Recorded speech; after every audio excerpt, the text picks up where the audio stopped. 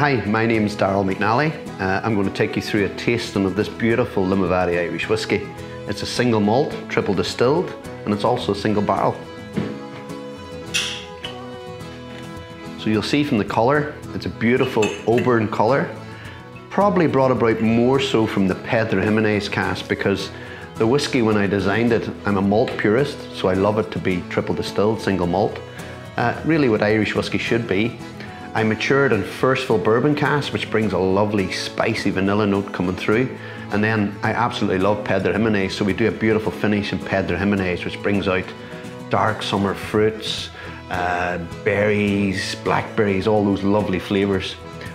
Now on the smell, it just takes me away to the summer and those lovely fruits, dark chocolate, all those beautiful notes coming through there. On the taste, on the first taste, I get that lovely spicy vanilla, almost like a chili on your tongue, but the spice is all in your tongue. There's no burn whatsoever, so even at 92 proof, there's absolutely no burn from it. It's perfectly balanced. On the second taste,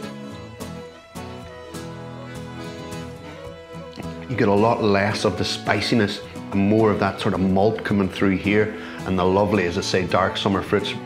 Every time I drink Limavady, it always makes me want to do a toast. So let me think here. Here's to a long life and a happy one, a quick death and an easy one, a pretty wife and an honest one, a Limavady and another one. Sláinte.